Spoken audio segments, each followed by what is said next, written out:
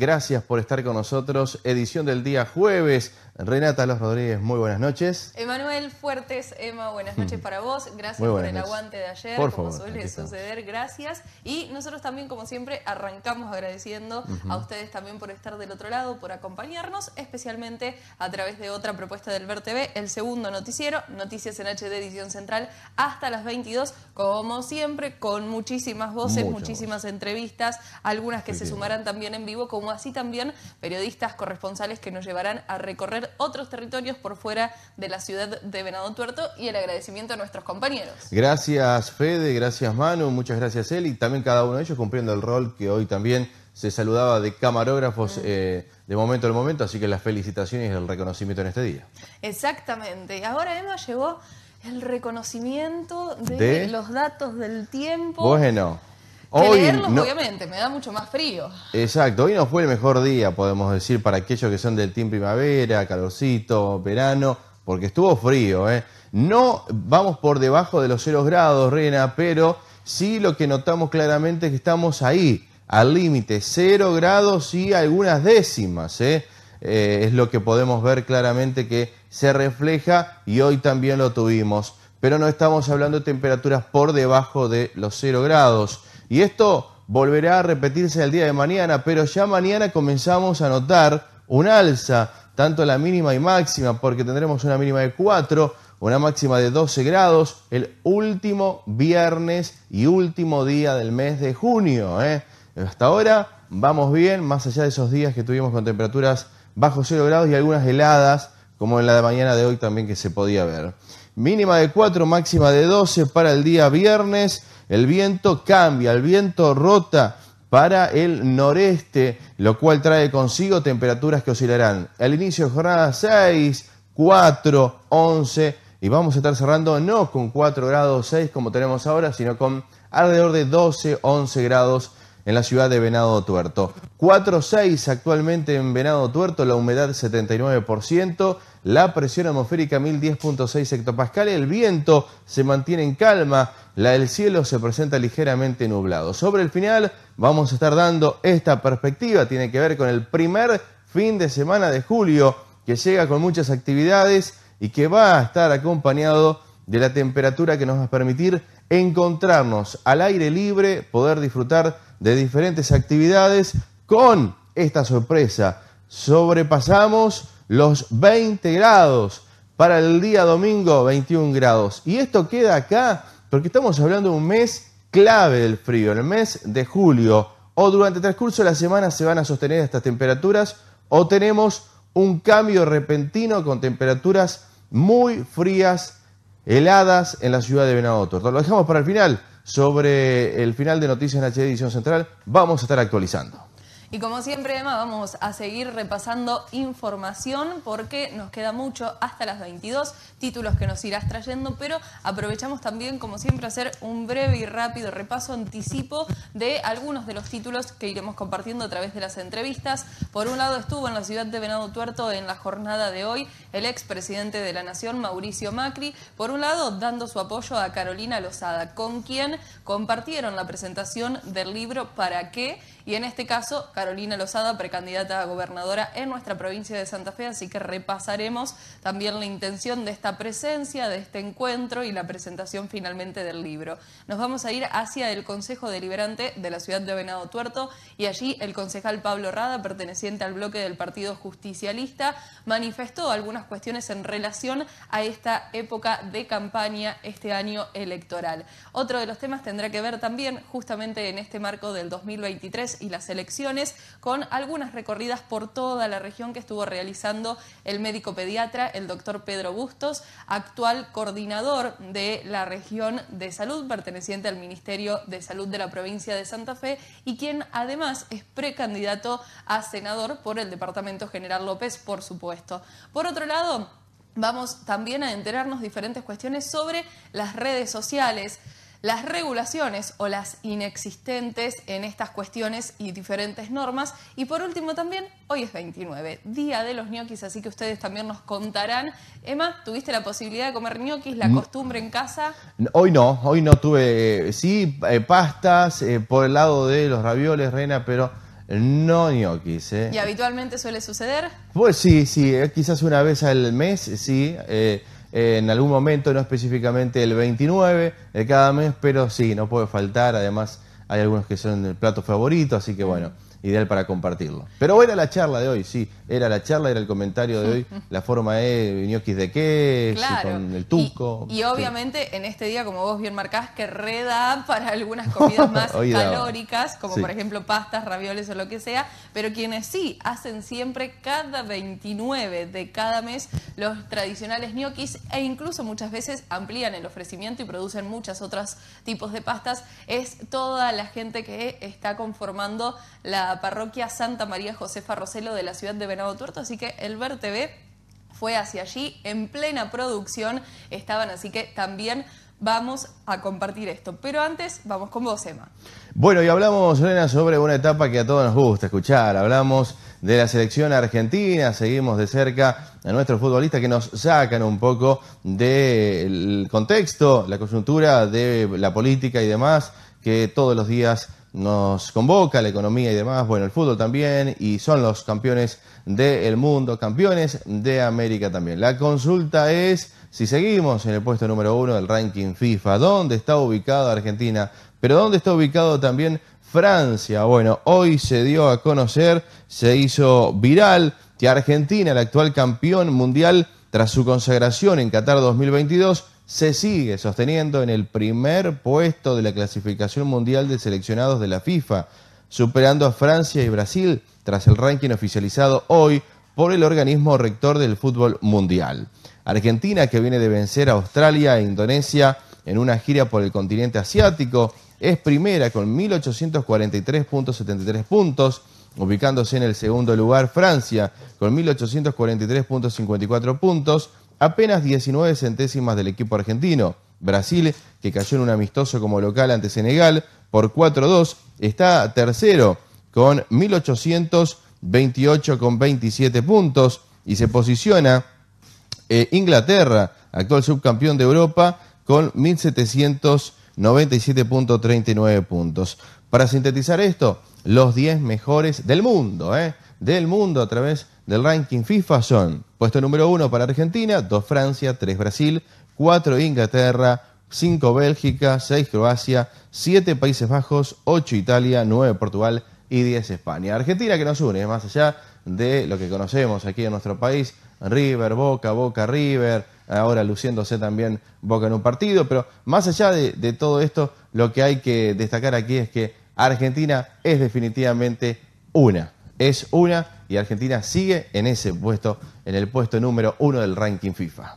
Y nosotros vamos a seguir avanzando con otras cuestiones que también tienen que ver con nuestra Argentina y ojalá que nuestra República Argentina, por el bien de todos, por el bien de quien conduzca desde los diferentes niveles gubernamentales, como así también por el bien de toda la comunidad, de todo el pueblo, de todos los habitantes, esté nuestra República Argentina en el puesto uno de los mejores aspectos. Y estamos en este año electoral 2023, como anticipábamos, en la jornada de hoy estuvo el expresidente aquí en la ciudad de Venado Tuerto, Mauricio Macri, con el puntual y explícito objetivo de brindar su apoyo, exponer su apoyo a la actual precandidata en este caso Carolina Lozada, que pertenece al grupo que ahora se identifica con el nombre de Unidos para Cambiar Santa Fe, que tiene allí una interna también con el precandidato a gobernador Maxi Puyaro.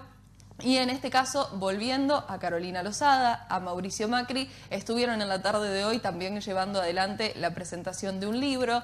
Ambos eh, pudo dialogar el Ver TV. Por un lado, Mauricio Macri va a describir lo que le genera Carolina Lozada, las proyecciones, lo que le transmite. Y por otro lado, Lozada también se va a referir a esta campaña, cómo lo viene atravesando e incluso sintetizará lo que refiere a la provincia de Santa Fe en este apoyo o no que recibe por parte del Gobierno Nacional y Provincial, según lo que evalúa la precandidata a gobernadora Carolina Lozada de Unidos para Cambiar Santa Fe. Claro, parece que nos encontramos siempre en el mismo lugar. Mauricio, ¿cómo va? ¿Todo bien? Buena linda tarde acá. Sí. ¿Qué, mm, ¿Qué, dice la gente eh, cuando te ve, cuando estás por acá? ¿Qué es lo que te pide? No, no me pido nada, una foto nomás, una foto con Caro, que nos saquemos y bueno, cariño. ¿Mm? ¿Cómo la ves a Caro? Muy bien, la verdad que a mí me transmite salud mental, compromiso, tranquilidad. La persona que quiere dar, que, que va a estar abierta a recibir toda la ayuda de los santafesinos para gobernar esta provincia que todos sabemos está en jaque, ¿no? Está en jaque por algo tan terrible como el narcotráfico. Así que a mí me genera confianza. ¿Cómo se arregla eso? No solamente desde la provincia, sino de nivel nacional, Mauricio. Bueno, ¿A vos que te tocó como estar? ya, como ya lo habíamos empezado a arreglar entre el 15 y el 19, ¿no? Santa Fe son lugares que se benefició con una política sana, como la que hicimos nosotros en nuestro gobierno, donde los narcos estaban en retirada. Ahora los que están en retirada son nuestros jóvenes, lamentablemente, ¿no? Sí. Eh, ¿Pueden volver al gobierno? ¿Pueden volver a ser gobierno? Sí, sin duda, sin duda. Para mí hay un, cambio de era.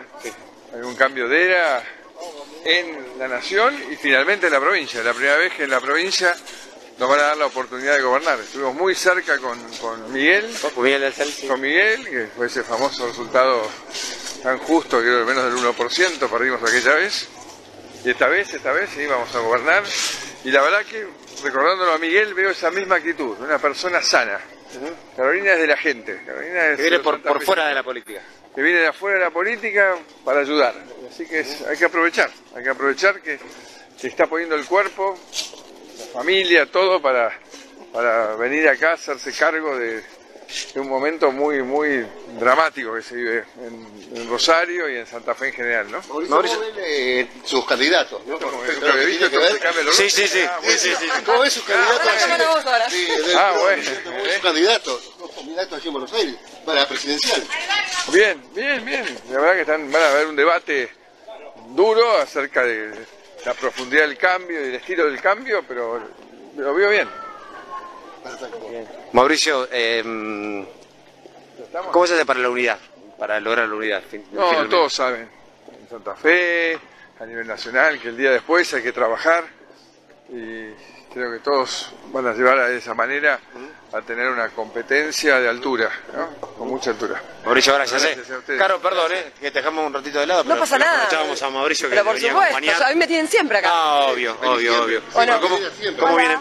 ¿Cómo viene la campaña? ¿Cómo viene? Muy bien, Bien, bien, bien. bien, Por suerte viene muy bien todo. Hoy con la compañía de Mauricio, hace unos Es un días espaldarazo. Patricia. Un espaldarazo importante. Muy importante, por supuesto. No hablamos de nada más que ni, más, ni nada menos que un expresidente, ¿no? Mm. ¿Y vos en lo personal cómo estás? Yo muy bien, por suerte muy bien. ¿Pero estás ansiosa? No, yo estoy bastante tranquila. Yo estoy eh, disfrutando la campaña paso a paso, eh, disfrutando del, con- del contacto constante con la gente, de, de las reuniones de equipos, que estamos haciendo muchas reuniones de equipos para, para los diferentes temas.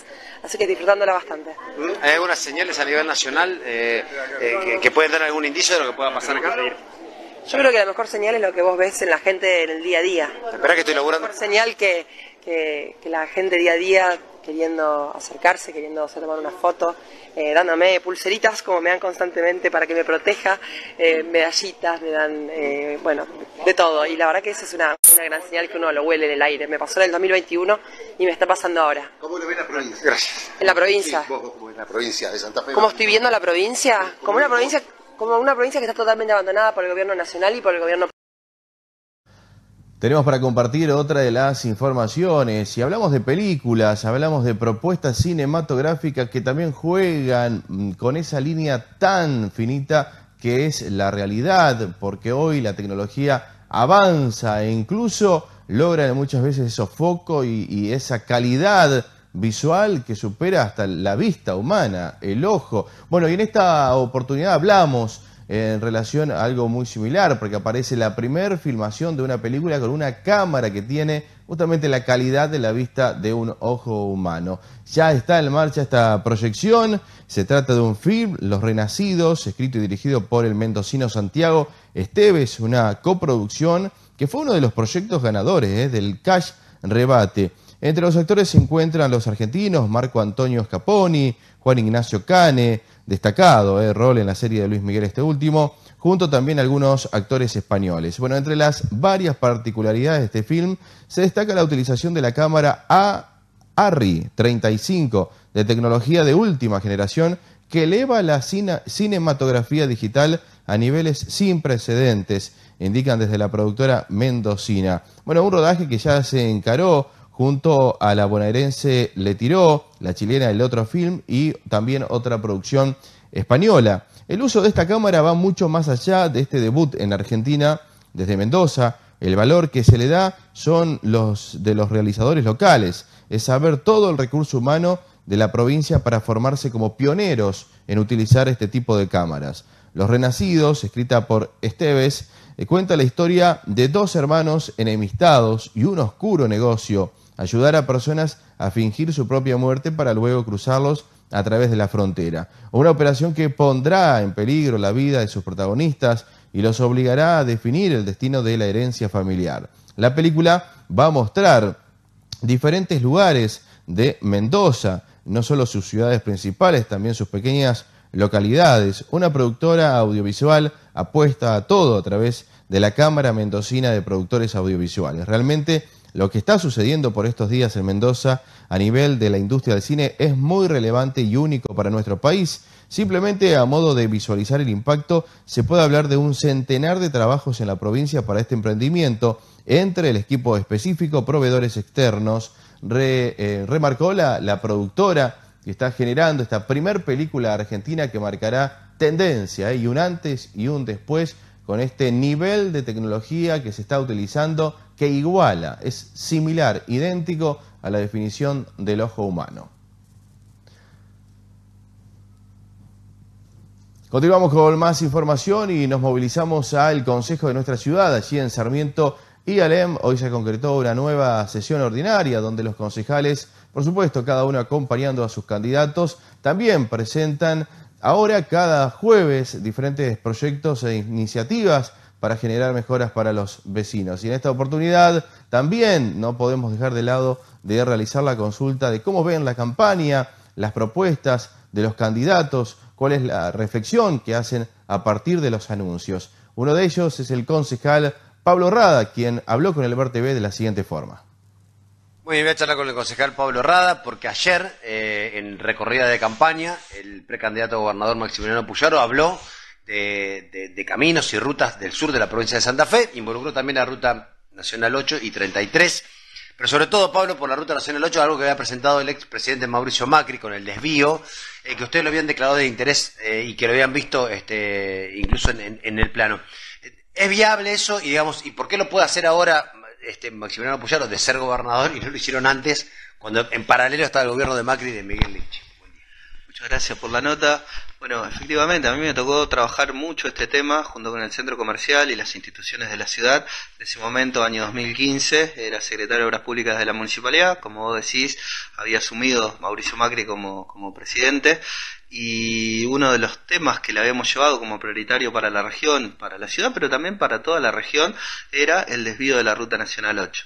En ese momento se estaba hablando de el avance de la autopista de la Ruta Nacional 8 en lo que es el sector de Pergamino, sector que se pudo concretar, eh, bueno, y que hace un tiempo no muy largo se pudo habilitar.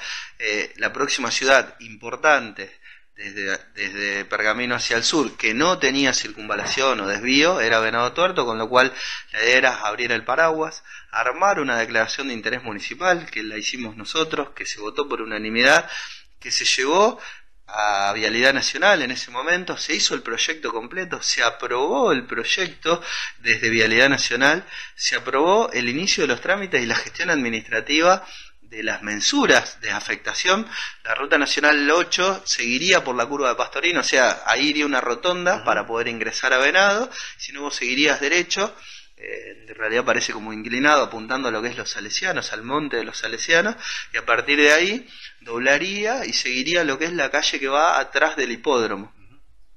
Ahí ya estaban definidas las afectaciones, estaban definidos, eh, es más, por ejemplo, el hipódromo que tiene la pista muy cerca de la calle, la afectación era hacia el otro lado, no hacia el lado del hipódromo. Se había tomado en cuenta todos esos recaudos, tratar de no afectar ninguna de las instituciones que quedaban a la vera, ni los salesianos, ni viviendas, ni el club, eh, el hipódromo, y a partir de ahí eh, se trabajó en conjunto con los legisladores, tanto provinciales como nacionales, pero no tuvimos avances, lamentablemente. Siempre en estos años electorales aparece quienes parece que tienen recetas o soluciones mágicas a problemas históricos de la ciudad que me parece buenísimo que lo tome, pero que ya lo podría haber tomado cuando estaban en la gestión anterior y, y durante todos estos años también. Además con un gobierno provincial eh, casi del mismo signo, ¿no? Gobierno provincial alineado, gobierno nacional también. Nosotros también le hicimos una carta en su momento, en el año 2021, eh, como concejales al gobernador Omar Perotti, para que haga el lobby que corresponda, para que esa obra esté incluida dentro de lo que es el presupuesto nacional.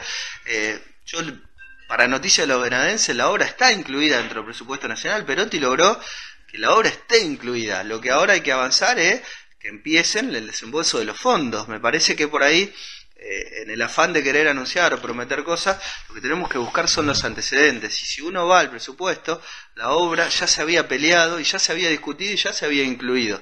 Eh, me parece que lo que tenemos que trabajar todos juntos, y en esto las instituciones son importantísimas, no solo en el desvío de la Ruta Nacional 8, sino también ahora en la etapa 2 de la autopista 33, que es la etapa que le corresponde a Venado y a, la, municipios y comunas de la región, porque están interrelacionadas. El desvío de la Ruta 8 coincide con el nudo del desvío de la ruta 33, con lo cual son dos obras que van de la mano, dos obras que tienen un avance técnico, o sea, técnicamente las dos están aprobadas, técnicamente las dos están listas para ser ejecutadas. ¿Y qué pasa que no se arranca? Lo que tenemos que pelear es por la decisión política del financiamiento, porque en el presupuesto también están incluidas, con lo cual el próximo paso, y ojalá sea con Puyar o sea con el que le toque estar en ese lugar, eh, tome cartas en el asunto, viaje a Buenos Aires con la representatividad de las instituciones y pueda traerse el financiamiento. Y vamos, como siempre, y lo anticipamos, a recorrer la región, vamos a viajar por el sur santafesino y ahora nos vamos a ir hacia la localidad de Santa Isabel y para enterarnos, en primer lugar vamos a saludar una vez más y agradecemos por esta predisposición y comunicación a Ernesto Zunde, quien está integrando también y coordinando el área de gestión cultural de la localidad y comuna de Santa Isabel. Ernesto, buenas noches, ¿cómo estás? Hola, ¿qué tal? Muy buenas noches, muy bien y muchísimas gracias por, eh, hacernos formar parte también y dar a conocer desde nuestro lugar las actividades que venimos desarrollando. Gracias a vos, nos alegra escucharte por supuesto con estas palabras también. Y hablando de actividades que van a desarrollar, hay algunas particulares este próximo fin de semana que también buscan hacer trascender algunas tradiciones que tienen que ver con juegos que han existido con más frecuencia en años anteriores. Yo debo confesar que por más que era mujer, me agarró en un momento la orientación de, estos objetos, de estos juegos, y creo, seguramente sí, están en mi casa todavía guardaditas. Recuerdo el tupper que había rescatado para poner todas las que tenía, que las amaba por la variedad en el diseño de cada una. Sí, así es. Bueno, vuelve, eh, para nosotros es la segunda edición de este juego que, como decís, nos une desde las infancias, ¿no? Es un torneo provincial de bolitas. Eh, bueno, desde que se crea eh, el área de cultura, acá a través del gobierno de Pablo Giorgis, nos ponemos en contacto con gente del ente cultural santafesino y esta es una de las tantas propuestas que nos llega a través de ellos. Para nosotros es la segunda vez que la, que la hacemos, fue el año pasado, este año la segunda edición, pero bueno, ya tiene algunos años este torneo provincial. Comienza con una etapa local, eh, luego sigue con una etapa regional y finaliza con la etapa provincial.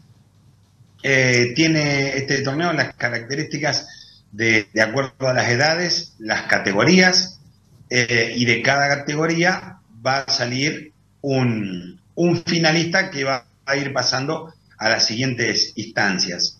Eh, como te decía, en la categoría A, por ejemplo, abarca a los niños y niñas de 8 a 12 años, la categoría, la categoría B de 13 a 15 años, la categoría C de 16 a 30 y la categoría D que es para mayores de 31 años. Eso es las categorías que propone el torneo, pero debido a la, a la gran convocatoria y el incentivo que, que tiene este juego, aquí en Santa Isabel vamos a sumar una categoría más que va a ser solamente para la etapa local, para los niños y niñas menores de 8 años. resto el gusto de saludarlo y bueno, consultarle también si hoy los chicos están jugando a la bolita frente al auge de la tecnología, eh, incluso jugábamos nosotros y había diferentes etapas, fases por pasar, ¿no es cierto? No solamente lanzar, también había algunos que eran, aparecían, innovaban, eran, eran nuevos. ¿Cómo se están preparando para recordarlos, ¿no es cierto? Todas estas etapas, ¿cómo va a ser puntualmente las características del juego? Sí, hay un reglamento. Nosotros, antes de, proponer este torneo ya el año pasado, estuvimos consultando con las docentes de las escuelas, con los profes de gimnasia de las eh, instituciones de acá de Santa Isabel, para interiorizarnos un poquito si la niñez, la infancia estaban eh, jugando a las bolitas, ¿no? Y nos manifestaron que sí, entonces nos pareció adecuado incentivarlo, proponerlo, darle la, difusión a este torneo. Y la verdad que el año pasado tuvimos más de 60 inscriptos eh, en la primera edición que fue para Santa Isabel. Y este año tuve la posibilidad de estar recorriendo las eh, instituciones educativas del pueblo y bueno, ya se, se rumorea entre los niños y jóvenes que este próximo domingo, 2 de julio, eh, se va a hacer el torneo, así que pensamos que va a haber una buena convocatoria. Eh, yo tengo el recuerdo en mi infancia, me parece que, estábamos más con las bolitas, las figuritas, eh, el fútbol, ¿no? Pero bueno, obviamente eran otros tiempos, nosotros tratamos desde, desde el área de cultura y también desde el área de deporte a los a los potreros, digamos, a las canchitas de fútbol que hay en el pueblo, se las fue tratando de acomodar, de acondicionar. Eh, acá en el barrio Santa Rita se, le pusieron las redes, los arcos, se pintó la cancha como para que las infancias vuelvan a, los, deportes y a los juegos eh, que eran cotidianos en nuestra niñez. Mm. Obviamente que hoy hay otros, otros artefactos, otros entretenimientos para los niños, pero bueno, nosotros pensamos, principalmente desde el área y desde el gobierno, que este tipo de propuestas hacen que toda la familia pueda participar. Eso fue en primera instancia lo que más nos interesó, que es, de acuerdo a cómo está planteado y a las distintas categorías, puede ir toda la familia a disfrutar de este torneo, porque como te decía, hay desde las edades de 8 años en adelante pueden participar y muchas veces vemos que lamentablemente a veces hay actividades en donde la familia no puede nuclearse, no puede compartirla. Y esta nos interesó principalmente por eso, porque eh, el juego es como una excusa para compartir toda la tarde en familia, porque va a haber también en el Parque Pinocho, donde se va a realizar, eh, va a haber una convocatoria también para artesanos, va a estar participando la Biblioteca Domingo Faustino Sarmiento ofreciendo algunos productos, pero a la vez también sacando al parque. La biblioteca está, para que se ubiquen, eh, en el mismo parque Pinocho. Entonces se va a aprovechar para que la biblioteca eh, vuelva a asociar gente, va a sacar los libros a la calle. Así que bueno, nos parece que el torneo de bolitas es una buena excusa para volver a encontrarnos en el parque donde pasamos nuestras infancias, con este juego que nos atravesó a la gran mayoría y que bueno, eh, tratamos de incentivarlo para que la niñez vuelva a jugarlo.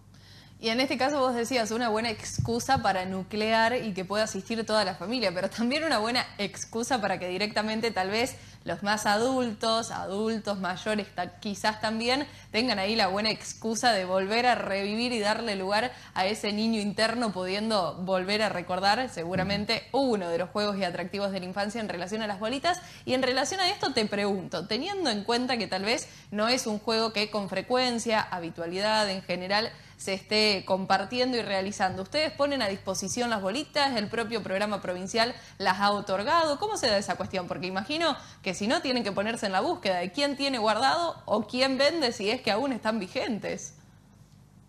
Sí, se están vendiendo, eh, pero en este caso, puntualmente, la gente del ente nos hace llegar las bolitas a cada una de las localidades que va a realizar la etapa local, pero bueno, a su vez desde la comuna lo, tratamos de, de fomentar y en realidad se van a poner como una premiación simbólica para los que fueran finalistas en cada una de las categorías, premios en bolita, pero como fue también en la edición del año anterior, va a haber gran cantidad de bolitas para que nadie se quede sin jugar y para que sobre todo los niños y las niñas se lleven eh, luego del torneo bolitas eh, a sus casas, ¿no? Como para, como para darle continuidad. Pero en realidad hay una gran cantidad de bolitas que nos llega a través del ente cultural santafesino.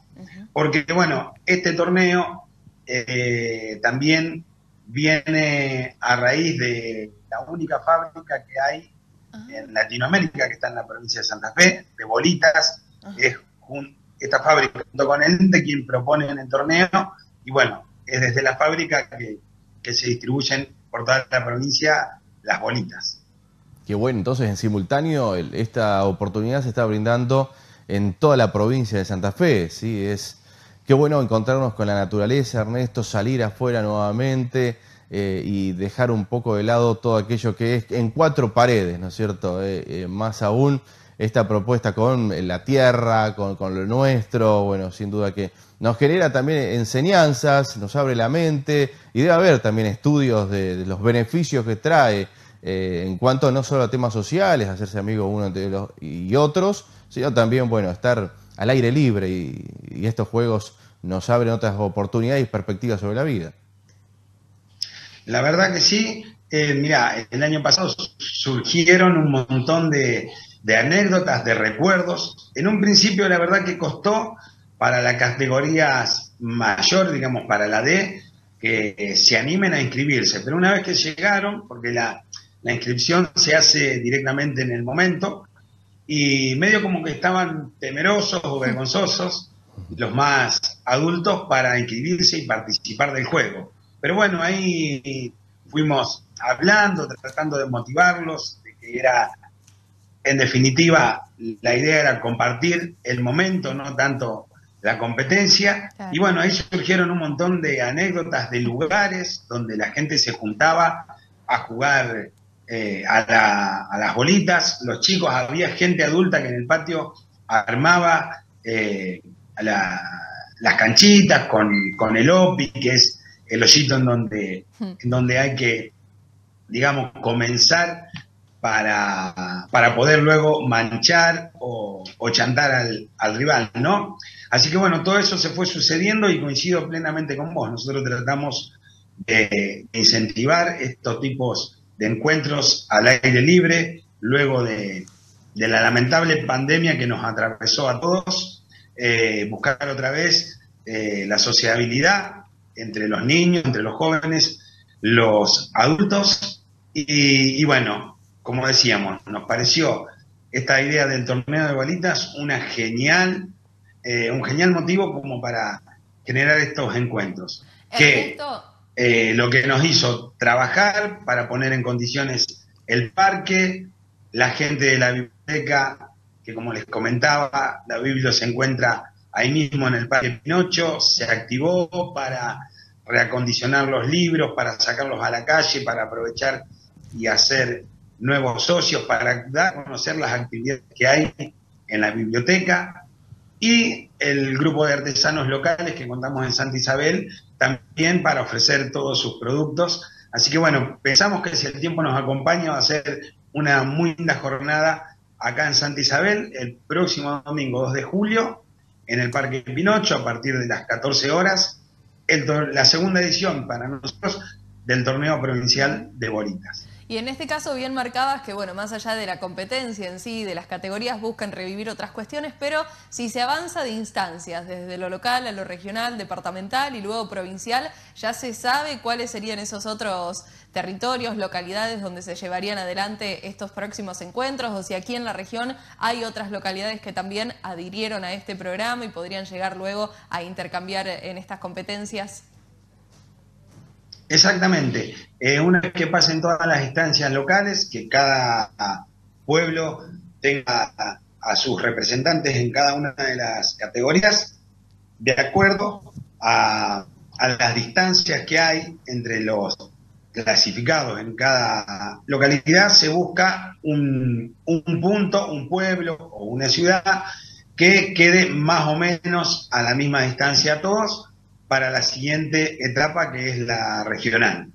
Y de esa etapa regional salen los clasificados para ir a la provincial, que el año pasado la etapa regional se hizo en Los Molinos, la etapa final se hizo en la capital, de Santa Fecina. Creemos eh, que la etapa final va a ser otra vez en la ciudad de Santa Fe. Lo que no tenemos todavía aún definido es dónde va a ser la etapa regional, pero bueno, como les comentaba, una vez que todas las localidades y ciudades tengan su finalista, se busca el lugar más adecuado de acuerdo a las distancias eh, para hacer la etapa regional.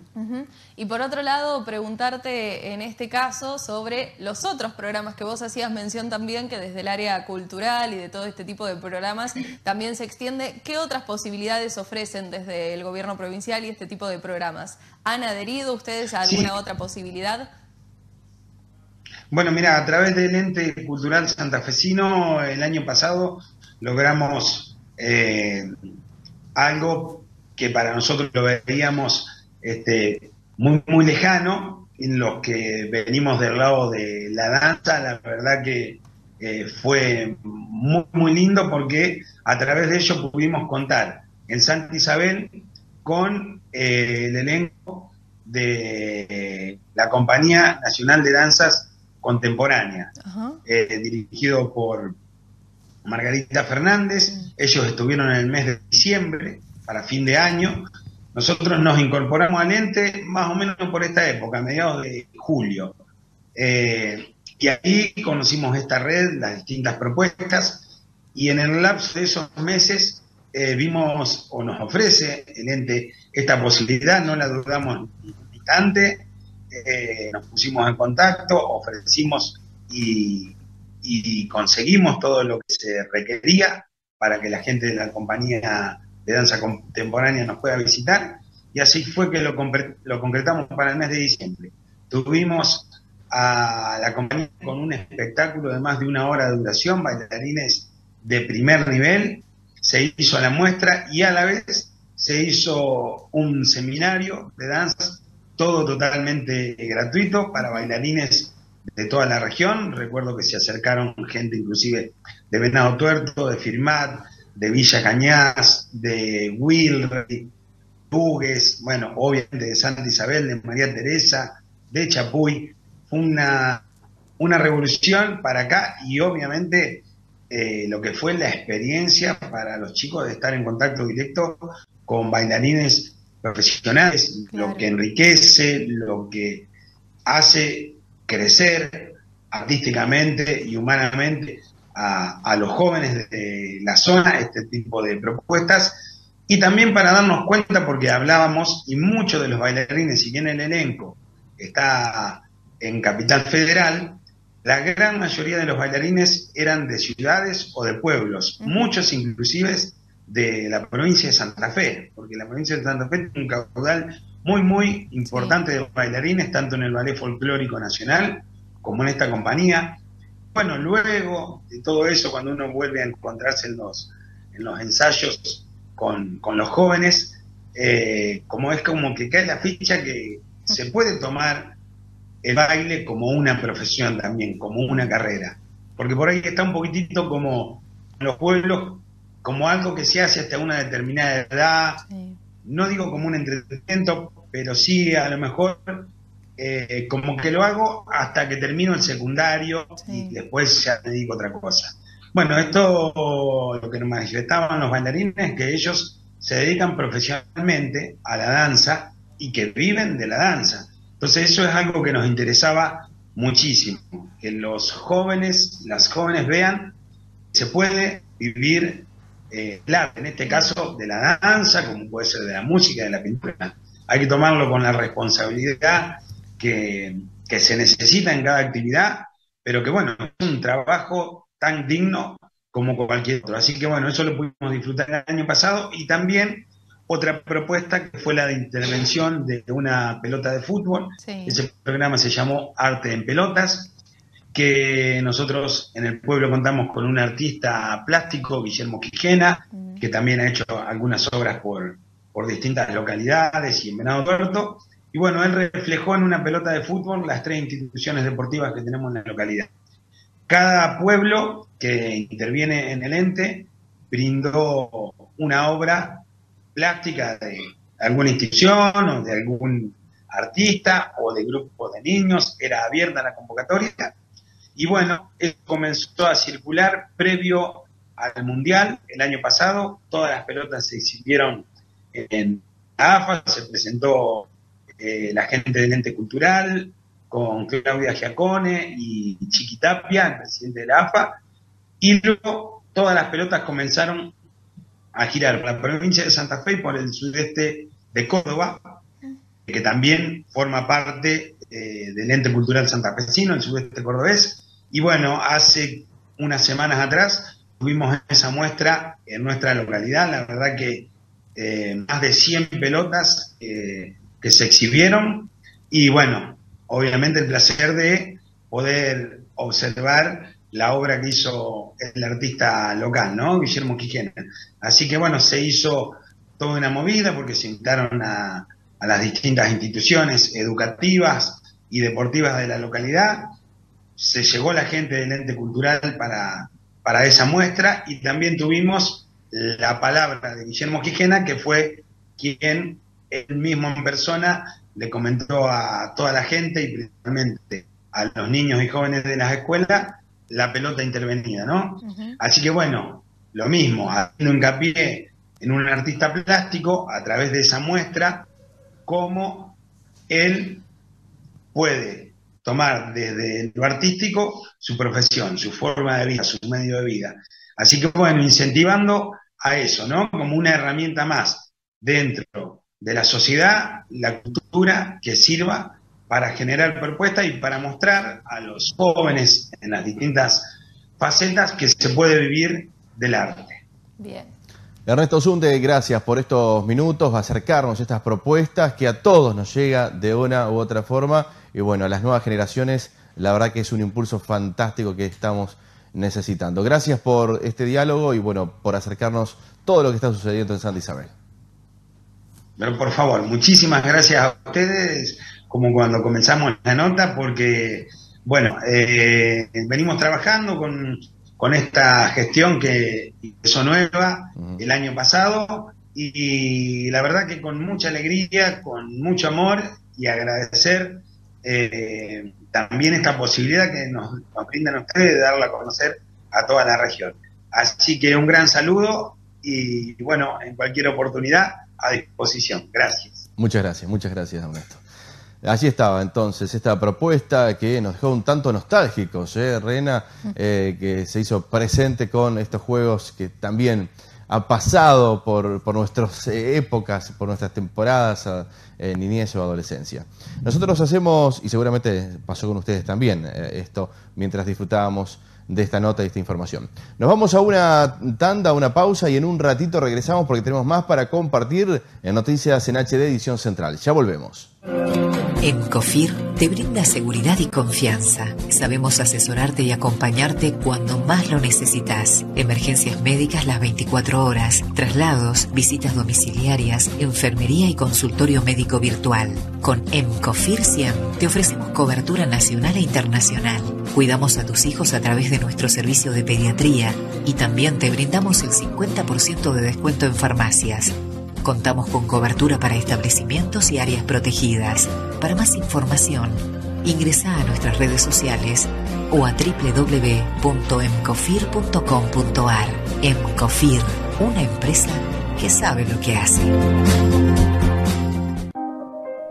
porque prometimos seguir trabajando por la ciudad y hoy ves las obras frente a tu casa, porque nos propusimos avanzar y Rufino ya cambió, porque estamos potenciando la región sur de la provincia, porque confiaste en nosotros y nos acompañaste en cada logro. Sigamos transitando juntos este camino para que Rufino sea la ciudad que todos merecemos. Municipalidad Ciudad de Rufino, trabajando juntos.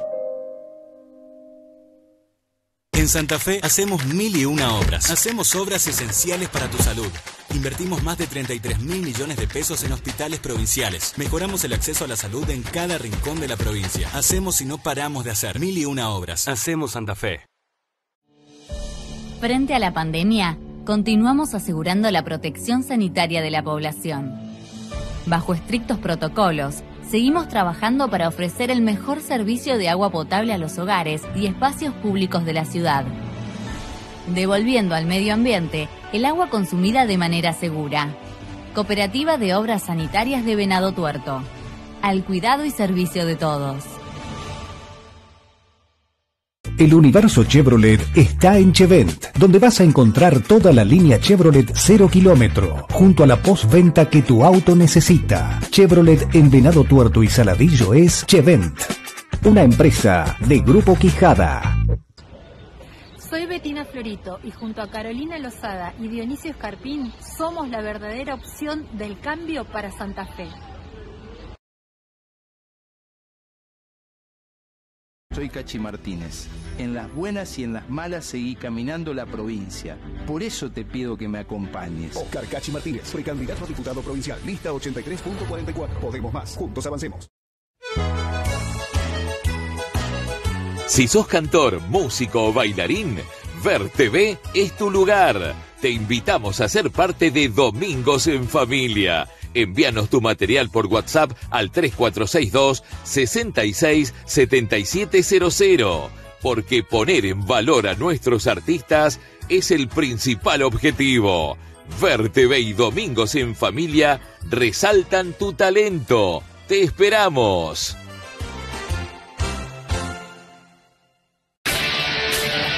Volvió el fútbol en la pantalla del Ver único canal con los derechos exclusivos de imagen. Divisiones A y B de la Liga Benadense de Fútbol, la liga más importante del interior del país y una de las más importantes de Sudamérica. Ver Sports. Estamos donde vos querés estar.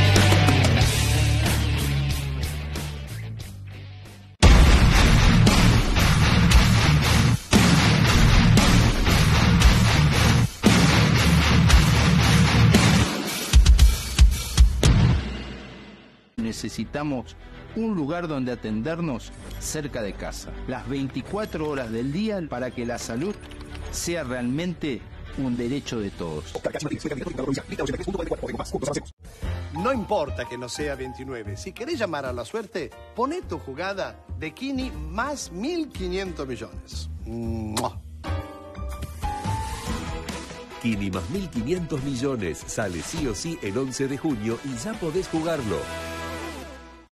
¿Sabías que? El gobierno de Venado Tuerto avanza con el plan de pavimentación de calles. En estos días se pavimentó sobre Dorrego entre Quintana y Vélez Arfil. Tus impuestos vuelven en obras. Gobierno de Venado Tuerto. Solicitamos la actualización de billetera Santa Fe a 12.500 pesos, ajustable según los niveles de inflación, y que sea ley, para que no dependa de la voluntad de un gobierno de turno. También pedimos que se excluya del beneficio a los funcionarios de alto rango, para que ese dinero sea destinado a incrementar la devolución a jubilados y pensionados, que son quienes más lo necesitan. Oscar Martínez, diputado de Santa Fe. Vení a disfrutar de las vacaciones de invierno en la ciudad de Buenos Aires. Qué lindo cuando estamos todos juntos. Conoce más en turismo.buenosaires.gov.ar barra vacaciones de invierno. Turismo Buenos Aires. Brazos abiertos. Buenos Aires Ciudad. Como diputado trabajé mucho para conseguir la ley de víctimas de delito y si seguimos trabajando volveremos a ser una provincia segura. Ley de prisión preventiva por portación o uso ilegal de armas de fuego en la comisión de un delito.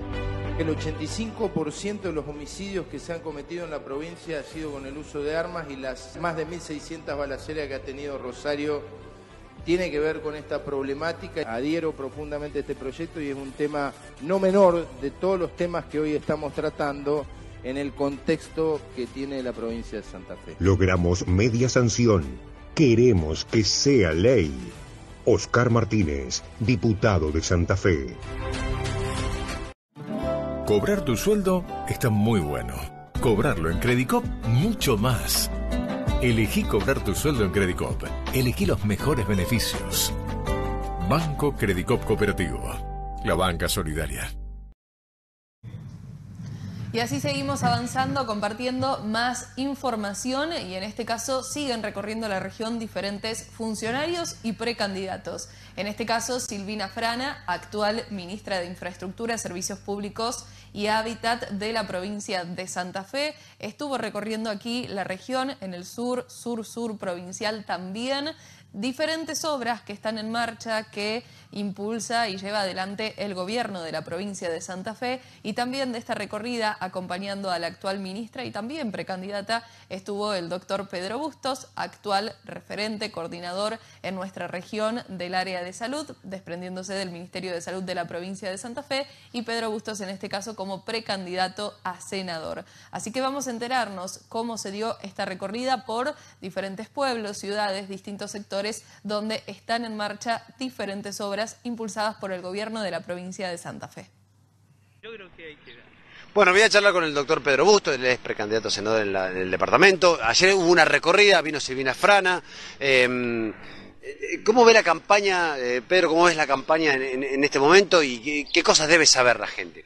Fundamentalmente, bien, viene bien porque a mí me saca del contexto donde uno siempre estuvo, que tiene que ver con la salud, que si bien no la puedo abandonar, como vemos atrás mío, eh, sigo estando como director regional, haciendo mis actividades, haciendo proyectos para la vacunación, pero bueno, eh, sorprendiéndome un poco porque realmente el otro día recorriendo con Silvina la eh, en la Picasa mismo, ¿no? O sea, cómo uno va descubriendo obras eh, de, una, de una magnitud extraordinaria, ¿no? Que realmente la mayoría de los santafesinos y del departamento eh, no lo sabe, ¿no? Y, y después las, los beneficios colaterales, que es que yo pensaba que esas bombas estaban relacionadas solamente para evitar las inundaciones, y no. No, no, tienen otra funcionalidad. Claro, me nombraron dos que son tan importantes. Uno, la productividad, ¿no? O sea, que el gobernador está pensando no solamente en evitar problemas, digamos, de corte de ruta por la inundación, sino que está apuntando a la productividad y al turismo pesquero, ¿no?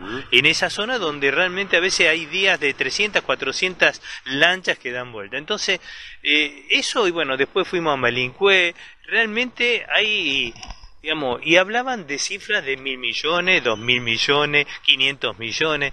Eh, creo que a veces cuesta eh, poder poner en valor esto eh, porque no es lo que uno normalmente ve y transita todos los días, pero que yo creo que la gente se tiene que quedar tranquila, que más allá de las distintas dificultades que tenemos, eh, realmente creo que el gobernador ha decidido tomar una conducta, decisiones políticas que tienen que ver con la provincia y la gente, aunque eso a veces no venda políticamente, no se vea mucho.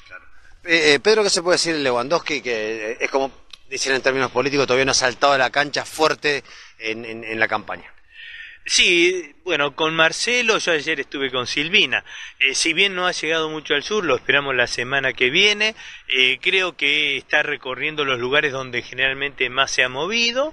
Uno lo ve moviéndose. Yo estuve con él en Bombal. realmente me encontré con una persona extraordinaria. Eh, con un perfil muy parecido al mío, eh, parecido en el sentido que eh, era periodista, se dedicó a la política y bueno, yo creo que cuando empecé, la gente empiece a conocerlo, realmente va a crear ese vínculo y creo que vamos a tener una muy buena elección. En las PASO, primero que... Vamos a una historia de vida, vamos a compartir con ustedes lo que está haciendo una joven que desea estar presente en una competencia de taekwondo, pero no aparecen los recursos. Su nombre es Briana Barrera, tiene 13 años y tiene como gran pasión el taekwondo. Tras dedicar su corta vida a ese deporte, se ganó un lugar en el Mundial que se hará en septiembre en Finlandia este año y su familia está en campaña al 100% para juntar plata para cumplirle ese sueño. La familia de Briana vive en Comodoro Rivadavia, trabajan muchos para juntar el dinero, hicieron rifas, vendieron pan dulce, locro, empanadas, em, diferentes eh, motivos de venta, incluso sacaron un préstamo al banco y hasta pusieron en venta el auto familiar.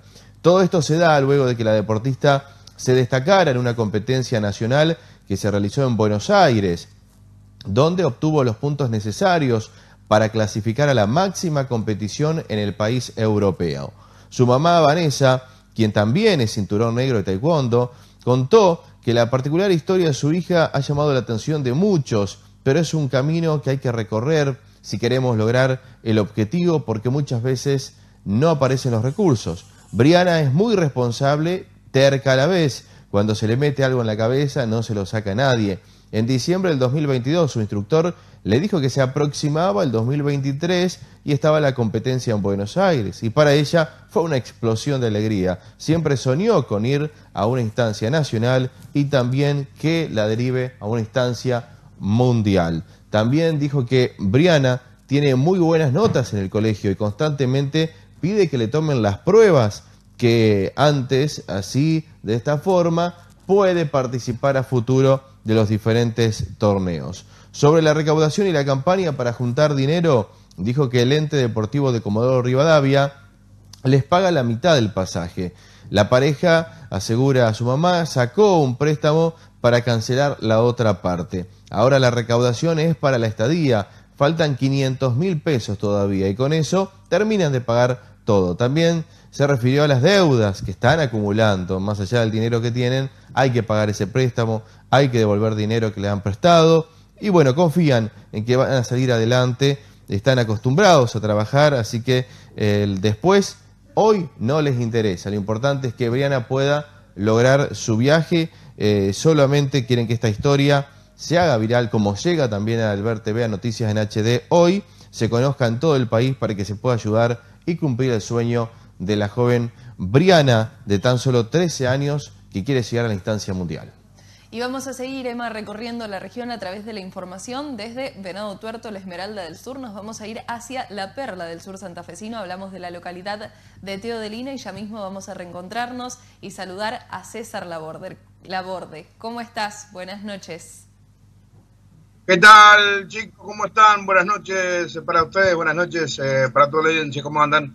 Muy bien, gracias. Y esperamos que también la localidad de Teodelina esté de esta forma que estuvo justamente el presidente comunal en estos días en la ciudad de Venado Tuerto, hablamos de Joaquín Poleri, pero como siempre te dejamos a vos para que nos puedas contar los diferentes aspectos que surgen desde Teodelina hacia la región y mismo allí en Teodelina. Surgen diferentes aspectos, en tanto la visita de Joaquín Poleri con Lisandro Enrico, lo que se logró, porque hay una pareja detenida, que había efectuado varios robos, incluida Gladys, la señora eh, Chola, para todos nosotros, que fue con eh, Lisandro Enrico y, Joaquín Poleri a eh, Venado Tuerto. se le han dado tres meses de prisión preventiva, están en espera del el juicio, a ver qué es lo que dicen los jueces, obviamente con todas las causas que tienen esta pareja, que hoy está detenida en la alcaldía de Melincue. Veremos qué es lo que pasa se está bregando mucho por el tema de la seguridad, como le dijimos en algún otro momento también con Adrián, eh, se está eh, viendo la posibilidad de que haya una, una oficina de fiscalía en Teodolina. Recuerden que Teodolina, como eh, ciudad fronteriza, tiene asidero en tanto Santa Fe como en Buenos Aires porque viene mucha gente de todos lados. Entonces se está bregando porque en un futuro no tan lejano Teodolina tenga una fiscalía presente aquí de tiempo completo con una persona obviamente que va a estar encargada de las causas y acompañando a la policía. César, el gusto de saludarte. Estos hechos de, inseguridad se están repitiendo, son constantes, son continuos, así en Lina. ¿Cómo está hoy en sí, más allá de este caso puntual, la situación en materia de seguridad? No, hoy está tranquila, hoy ya está mucho más tranquila. Fue hace 15 días, los últimos eh, dos robos que tuvieron como eh, protagonistas a esta pareja que hoy está detenida. Y bueno, la idea es acelerar el tema de eh, la justicia para que puedan darle causa y fin a, esto que se hizo. Por eso además se acompañó a Gladys hacia Venado Tuerto. Obviamente, también aprovechamos la oportunidad de que vino Maximiliano Puyaro en el día de ayer para preguntarle sobre seguridad eh, y decirle cómo lo iba a cambiar y además por el tema de que Teodolina tiene más de 70.000 hectáreas en lo que tiene que ver su eh, región rural y que con los Pumas hoy no alcanza. Entonces, Puyaro dijo, entre otras cosas, que él quería dotar a la policía de, herramientas para que puedan investigar también, no solamente eh, hacer prevención y que se puedan adelantar a los delitos que puedan ocurrir. Y en este caso ha sacado a relucir, como siempre, con algunas ideas el presidente comunal, un particular vehículo hemos visto también a través de las redes sociales, al menos nosotros desde la ciudad de Venado Tuerto. El auto rojo de Teode, ya muy conocido, el, el Falcon de Poleri. Mira, y lo está utilizando bueno, también en la campaña porque, como bien marcabas, con la presencia del precandidato a gobernador, en este caso Maximiliano Puyaro, también el actual senador, pero también precandidato Lisandro Enrico, los veíamos allí y a los tres, con el actual y también precandidato a presidente comunal, en este caso Joaquín Poleri. Dan, da casualidad que los dos, tanto Maximiliano Puyaro como Lisandro Enrico, eh, también son eh, fanáticos de los autos clásicos, igual que Poleri, pero no es que, para la gente que por ahí no sabe, no es que lo, saca solamente en campaña, es el auto que anda el presidente comunal todos los días. Mirá vos. ¿Qué información más tenemos, César, desde allí? Había Venado con el Foro Falcon rojo. Mira. Bueno, lo tiene hecho una joyita. Por eso te Una reliquia. Sí, sí, está muy lindo, está muy lindo. Original. ¿Qué más tenemos desde Teodelina, César? Van conociendo, va, mejor dicho conociendo, se van presentando las distintas listas. En la otra lista de Juntos por el Cambio, eh, en este caso, eh, que acompaña la lista gobernadora de Carolina Lozada, está esto que también anduvo recorriendo algunas instituciones y empresas de la localidad. Bueno, este, hablando con las instituciones, con los propietarios de empresas, viendo el panorama que se va a encontrar de acá al próximo 16 de julio, donde van a ser las pasos. En Teodolina, las pasos van a ser una interna entre eh, Poleri, que va por el lado de Puyaro, y Gareto, que va por el lado de Carolina Lozada, los dos y juntos por el cambio, y después la lista del secretario del Partido Justicialista General López, estamos hablando de Néstor Fortuna, que eh, presentó su lista con gente joven y gente de la localidad, y que eh, también están recorriendo eh, los tres, o sea, tres listas que vamos a tener de acá al 16 de julio, donde se van a hacer las pasos en Teodolina. Luego quedarán la Néstor Fortuna, que no tiene eh, interna, y quedará alguno de los dos candidatos, o Poleri o eh, Gareto. Veremos quiénes son los más votados, ¿no? Y si hablamos quizás de lo que se puede percibir por parte de la comunidad, algo se dialoga, se charla, se puede interpretar hipotéticamente, como sabemos y advertimos esto, hacia dónde se estaría orientando posiblemente las elecciones. Algo que llama particularmente la atención es que es una campaña con tono bajo.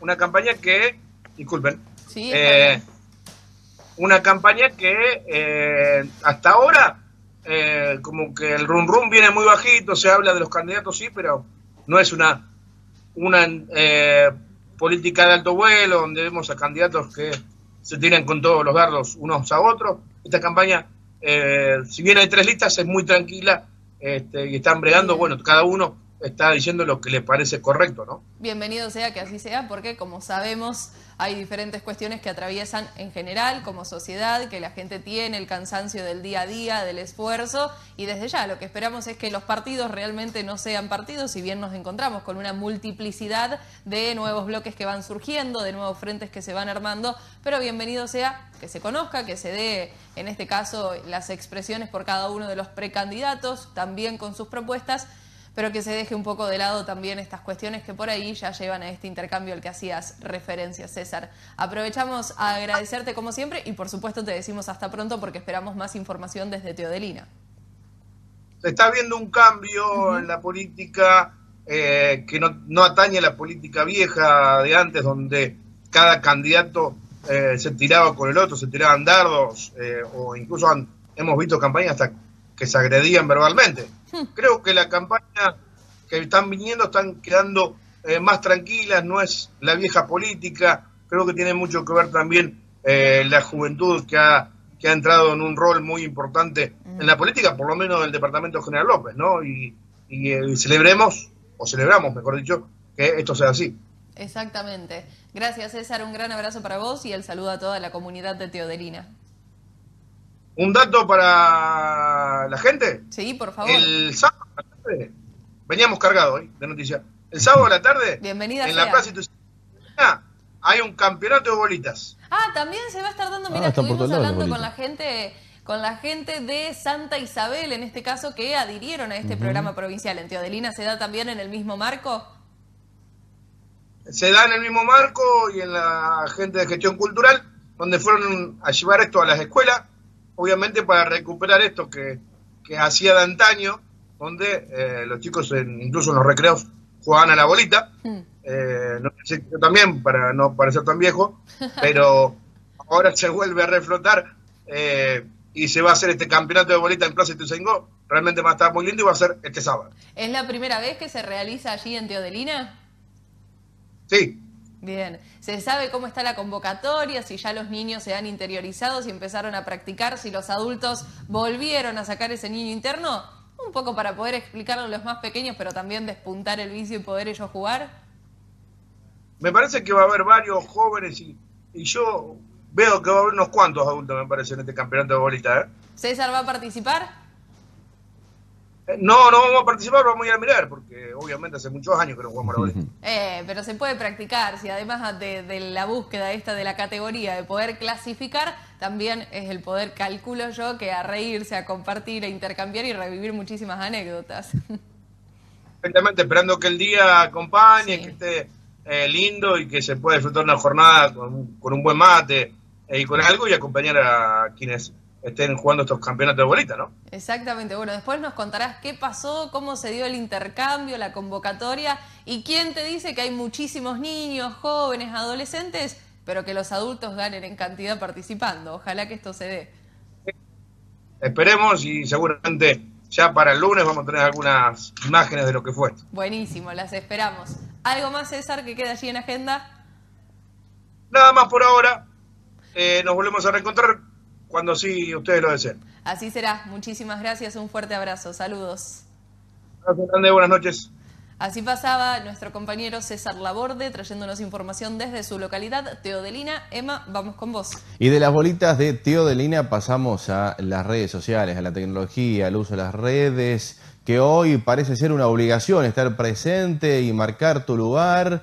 Y también eh, vemos que se dan ciertos fenómenos que muchas veces son incomprensibles porque hay una impunidad tremenda, no se regula, se publica, se comenta lo que uno quiere y termina esto afectando a la persona real en su vida diaria. Bueno, sobre este tema estuvimos eh, hablando con el licenciado en Ciencias Sociales, Tomás Luders, y más aún hoy, con un año de elecciones donde esto incluso sobreabunda.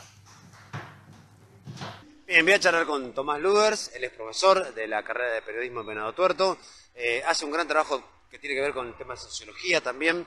Eh, por eso quiero preguntarte justamente en este momento, eh, por el uso indebido de las redes sociales y la- impunidad que eso genera, y sobre todo en temas tan sensibles como ahora, donde la opinión detrás de una pantalla o detrás de un teclado vale mucho. Hay un- ¿Se puede hacer un análisis de esto, de, de- de cómo estamos viviendo y, y- y cuáles son los disparadores inmediatos que podemos conocer, Tomás? Sí, eh, ¿qué tal? Buen día. Eh, bueno, vos apuntaste algo interesante, y el uso indebido. Yo creo que sí- casi siempre es indebido el uso de las redes sociales. O sea, ¿por qué? Pero contrariamente a lo que pasa con, por ejemplo, el aspecto político, todo el No, mundo claro. usa las redes. Eh, lo, lo que pasa es que las redes, como, lo marcan así varios estudiosos sobre el tema, uno de ellos, un hombre medio raro, Byung-Chul Han, porque es coreano, digamos, dice, bueno, es una comunicación donde se pierde lo simbólico. ¿Qué, qué quiere decir por lo simbólico? Digamos, todos los códigos que hacen a la, a la convivencia, y sobre todo cuando el contacto es entre desconocidos, ¿no? Por eso en las redes sociales vos te permitís decir barbaridades. Es lo que te da impunidad. Sí, pero digamos, aunque esté, esté tu nombre ahí, ¿no? Eh, es como que ahí no hace falta el filtro, ¿no? Entonces a una persona le increpas de una manera que nunca lo harías en la calle, ¿no? Porque lo insultás, te acordás de su madre, de su padre, de su tío, digamos. Eh, porque hay justamente esa falta de lo simbólico, digamos. eh, esa, esa- esa- esa- cosa que regula nuestra, nuestra comunicación cotidiana, sobre todo con los desconocidos. Pero en las redes sociales estamos todos en- como en un mismo plano. ¿no? No, no, no- No importa clase social, Nada. eh, distinción de sexo. ningún tipo de autoridad eh, legítima, nada. Estamos todos en un mismo plano, entonces nos permitimos decir cualquier barbaridad, ¿no? Algunos dicen, bueno, nos vemos en espejo, y a veces sería el espejo de Dorian Gray, digamos, el espejo donde vemos lo que no queremos ver de nosotros. Eso también lo marcan otros autores. Por eso, esa, ca- esa capacidad de hacer catarsis, es decir. Este, digo, por otro lado, eh, los, medios que están en, las redes, digamos, y las propias redes, han aceptado que esto funciona así. Entonces, hoy tenemos el, imperio de lo que se llama el clickbait, ¿no? Todo por un clic. Entonces, vos lo verás, cada, cada cual que lo ve, lo ve en, su- su- en su- los algoritmos, ¿no? Como seleccionan nuestras noticias, te aparece información por ahí de cosas que vos no, no- no es que no te interesen, te, te generan una reacción negativa, pero como vos reaccionás, entonces se, tro- se re- Tiene que ver con el clic que le diste. Claro, porque le diste, o comentaste, che, bueno, no, no puedo decir, no puedo expresar cuál es el lenguaje porque estamos en otro medio, digamos. Pero, digamos, eh, entonces reaccionás y eso también genera clics y atrapa clics. Ahora, ¿qué es lo interesante de esto? O, no sé si preocupante, que, digamos que es algo que discu- discuto mucho con los chicos, sobre todo en la carrera de periodismo, digamos, que es, bueno, que los medios estén trabajando con esta lógica, porque digamos, una cosa son las redes en sí mismas, que son plataformas que no necesariamente tienen una línea editorial, son plataformas, digamos. Eh, pero sobre todo los medios tradicionales, que se han adaptado a esto, lo que están haciendo es destrozar su línea editorial, digamos. Por, como que somos más viejos, nos acordamos, digamos, lo que era el rating minuto a minuto, digamos. Sí, eso te genera éxito en el, en la- a la brevedad, pero a largo plazo, digamos, un diario importante que está online eh, tiene el mismo peso que cualquier portal X. Entonces eso también suma a todo esto. ¿Por qué? Porque se, se destroza cualquier criterio de autoridad, digamos, en este caso la autoridad periodística. No voy a idealizar lo que era la autoridad de los grandes diarios o los grandes medios, pero uno suponía que la información que estaba ahí estaba chequeada, confirmada, que quienes opinaban estaban más o menos formados sobre el tema. Ahora es todo homogéneo. Entonces eso también Se ha perdido un poco eso, ¿no? Mucho, o muchísimo, digamos. O sea, hay muchos estudios que, que- demuestran eso, que ya es muy poco, es, es de nicho, muy acotado el entrar al portal, digamos, ¿no? Entonces, vos te informás por lo que aparece ahí y sin ningún tipo de jerarquía. Digo, jerarquía en el buen sentido, no una jerarquía arbitraria, digamos, sino, bueno, como siempre le digo a los alumnos, ustedes van a tener eh, una autoridad basada en un conocimiento, como, como vos, como periodista, bueno, vos estás recabando información que yo no tengo, que el, que el ciudadano común no tiene, pero eso en la, en la red se pierde, se diluye, ¿no? Entonces, a esta cosa de la difamación, de, de la agresión permanente, es constante, ¿no? Digamos, eh, eh, bueno, se suma esta cosa de que la información pierde cualquier tipo de, de- criterio, digamos, más o menos razonable o, o- o incluso otra cosa que se observa es que se, se ha traspasado también a las pantallas, a todavía lo que sobrevive, como podemos decir, te- la a lo que es la televisión, que es que se pierde también, eh, si la objetividad no existe, eso ya lo sabemos, vos pasaste por la carrera de periodismo también, pero uno puede hacer un esfuerzo, digamos, por intentar, digamos, no partidizar, sobre todo en lo que es información. Después, la- cuando yo opino, opino, digamos. Eh, bueno, eso se pierde, por eso se, han partidizado tanto las opiniones, ¿no? lo que acá se llama la grieta, pero que pasa en todo el mundo, ¿eh? o sea, no es una alegría, digamos, no, es exclusivo de Argentina, esto, esto es global, digamos. Tomás, y con el tema de las redes sociales. Vamos con los datos del tiempo, ya aquí los tenemos en pantalla, 3 grados, una décima, observemos la sensación térmica, 0 grados 6 décimas ahora, en este momento en la ciudad de Venado Tuerto, el cielo ligeramente nublado, mucho frío en la ciudad de, Venado Tuerto. La humedad 84%, la presión 1010.9 hectopascales, el viento sopla el este, del este, luego rota mañana viernes, mira Manu en su día, eh, mínima de 4 para el día viernes, máxima de 12 grados. A partir de aquí comienza a incrementarse la temperatura. eh. Atención, que comenzamos en la curva hacia arriba. El veranito de San Juan vuelve a instalarse nuevamente con un sábado que tendremos una mínima de eh, 8 grados, una máxima de 17 grados. Alta temperatura, viento del norte, el cielo parcialmente nublado para el día sábado. El domingo, mínima de 12, ¿eh? ya tenemos más alta, más elevada incluso. Para el domingo sigue persistentemente el viento del norte. Podríamos llegar a tener algunas ráfagas de 50, 40, 50 kilómetros por hora con viento del norte, mayormente. Linda jornada para el domingo. ¿eh? Mañana con la agenda, usted agende tanto sábado domingo alguna actividad. Máxima de 21 grados para el 2 de julio. Eh, vamos a tener un lunes y un martes y un miércoles con temperaturas que oscilarán en mínimas desde los 17, 16, 15, 16, 17 grados, máximas de 23, 24 y hasta 25 grados. Calor, bueno, esto es la foto de hoy hacia el inicio de la próxima semana, ya en pleno julio. Posiblemente tengamos alguna novedad en el transcurso del día de mañana, pero temperaturas elevadas ¿eh? son las que vamos a tener para el transcurso de la próxima semana en Venado Tuerto, al menos en los tres primeros días. Y ahora sí, Emma, seguimos avanzando con más información, como lo hacemos siempre en el final de Noticias en HD, y vamos con el repaso de las farmacias de turno. Farmacia Pesarelo en Chile y Cabral. También está de turno en la intersección de Avenida Casey y Calle Alvear, aquí en Venado Tuerto, Farmacia Banger. En España y Colón, Farmacia Magris. Y ahora sí, nosotros vamos a poner, como siempre decimos, punto final a Noticias en HD. Por hoy nos vamos a reencontrar mañana. Nos reencontramos el viernes. Exactamente. Para cerrar la semana, nos dicen un saludo, pero por supuesto, siempre está el saludo. Y el día de camarógrafo. Y, agradecimiento, muy bien, exacto. Aquí, en este caso, a Manu, a Fede, a Eli, que han estado manejando todo lo que tiene que ver con cámaras, sonido, la puesta en el aire. Así que gracias a ellos, a ustedes por acompañarnos y siguen las propuestas en el TV. Sí, totalmente, porque ya está llegando, ¿eh? vive la música con máxima expresión, eh, por lo tanto ya llega Alejandro Had. Así es, nosotros nos vamos a despedir hasta mañana. Muchas gracias. Una producción de Multimedio GS.